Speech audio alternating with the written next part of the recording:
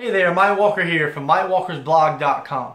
Today I want to talk to you about prospecting and I want to talk about three questions you should ask yourself every single time you get on the phone with a prospect or, or every time you actually talk to a prospect online as well.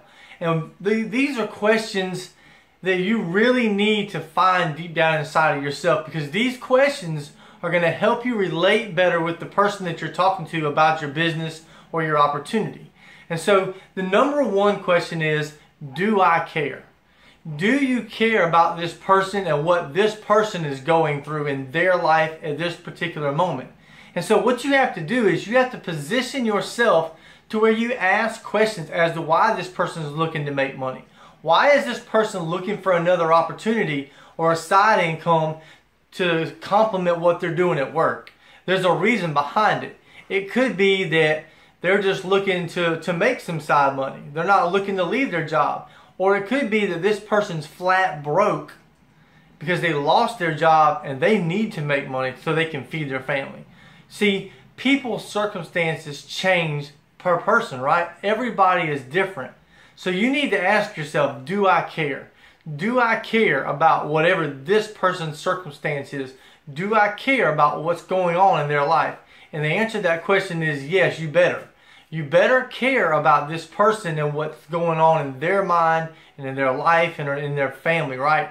Because once you learn how to care about them, then you can start to serve them better, which takes me into question number two. Can they trust me?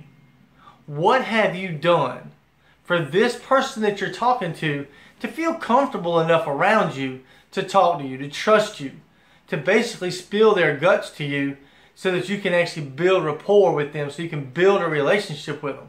Because we all know that people buy from people that they know, like, and trust. And so what have you done for this person to trust you?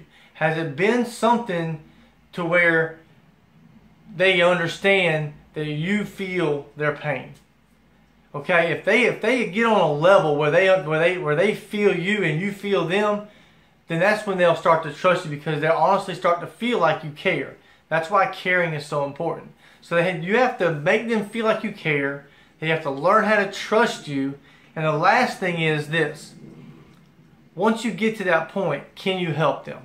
That's the third question that you need to ask yourself. Do you have something that can help them in their circumstance, in their situation?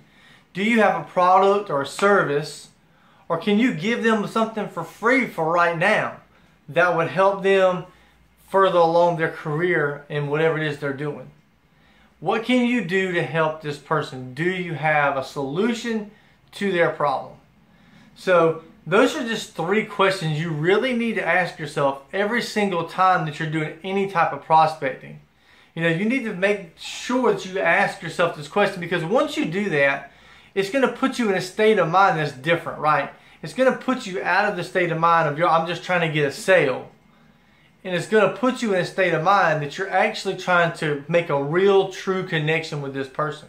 And that's really what it takes. You have to connect with this person and kind of figure out where this person's coming from, right? So make sure that they know that, that you care about them. Get them to trust you. And then once you do that, then you need to ask yourself, how can I help them? So guys, I hope you got some value from these tips today. I hope this has helped you in a little bit in your prospecting and the way that you talk to people and the mindset that you have going into the prospecting call or if you're online messaging or whatever. So if you did get some value today, please like it, share it. Definitely leave me some comments. I love to get your feedback in the, in the comment section below. So guys, if you want some more tips just like this, you can go over to my blog. It's at mikewalkersblog.com.